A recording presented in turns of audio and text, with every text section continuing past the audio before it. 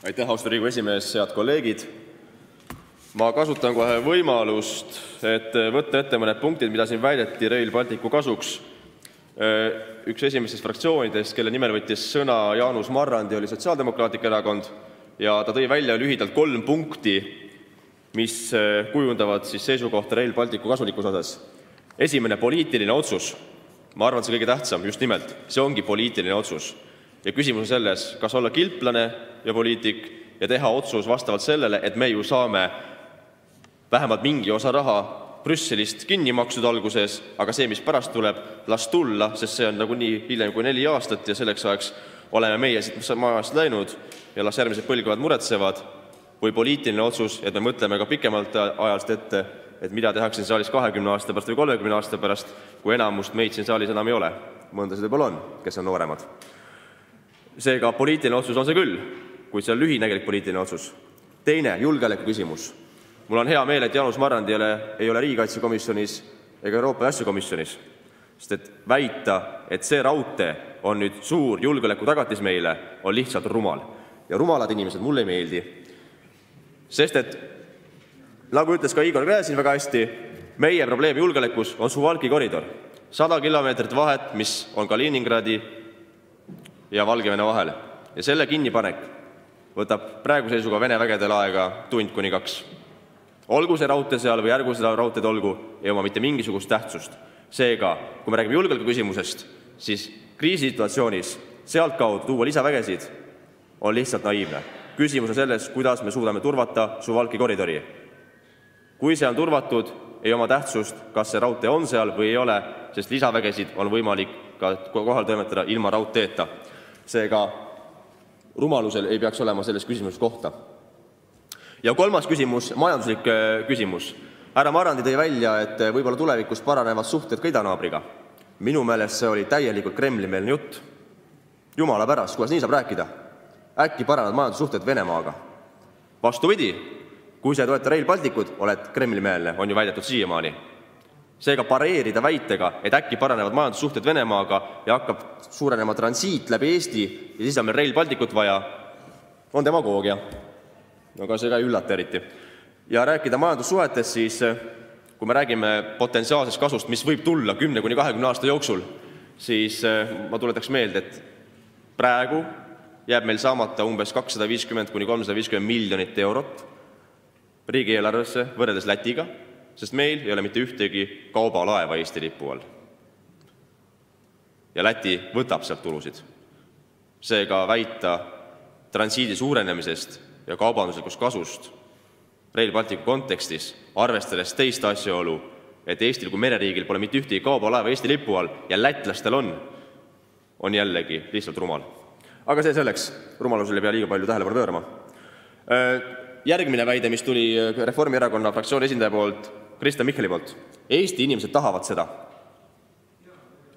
no kui nad tahavad seda, siis teeks referendumi. vaatame, paljud tahavad.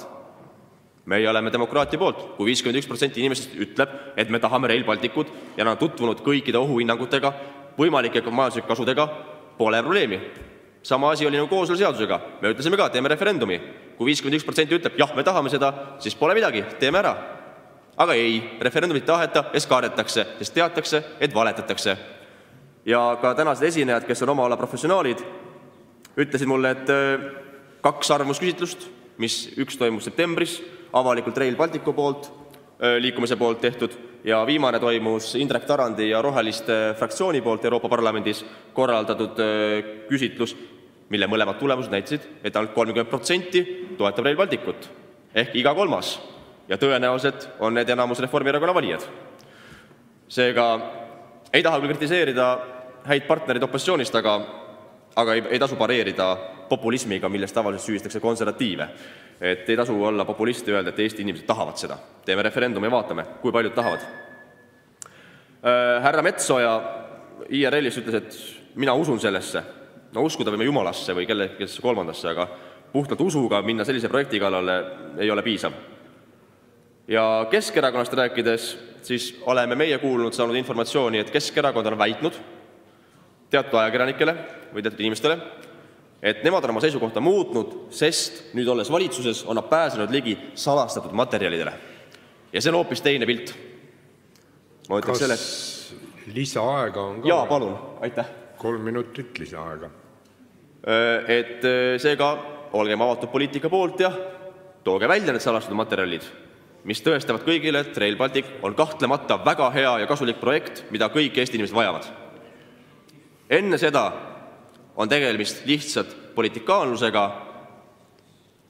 ja oma värvi muutmisega ehk olla nagu ka kameeleonid, et sealt, kus tuul, sinna suunda me vaatame, sest praegu kolme nädalaga muuta seisukohta sada kaheksakümmend kraadi mitte ainult Rail Balticu küsimuses, samuti e-valimiste küsimuses, presidendivalimiste küsimuses, teedemaksu küsimuses, on lihtsalt piinlik, häbiväärne ja ei tee au peaministriparteile, kellest me siiamaani oleme lugu pidanud kui heast opositsioonipartnerist.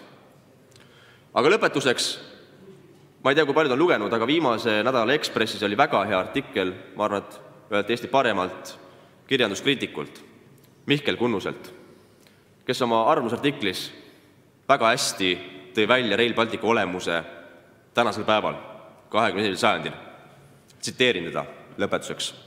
tundub, et hetkel on koondunud kollektiivse ja valitsuse tasandil individuaalse juhmistumise aktuaalsem teravik Rail Balticu temaatikasse, mille kriitika üks olulisemaid pareerimistaktikaid on suhtumine, et mis siis, et see on tulevikku hävitav ja pöördumatult Eesti loodust ja majanduslikku võimekust kahjustav lollus, aga seda on juba alustatud ja seega tuleb see ka lõpule viia tulevastele põlvkondadele jättis inimkonna piinlikem ja häbiväärsem sajand, kahekümnes sajand, tühjad maardlad, lagastatud keskkonna pika nimekirja välja surunud liike ja ohtlikult soojust siduva atmosfääri. lokaalselt tahetakse sellele nüüd liita veel maha võetud põlislaante kändude vahelt kulgev kiirraudtee, millega saavad need vähesed alles jäänud põliselanike järeltulijad kimada Berliini halal-liha järele või Kölni uusaastapeole. aitäh! Henn Põlluaas, palun!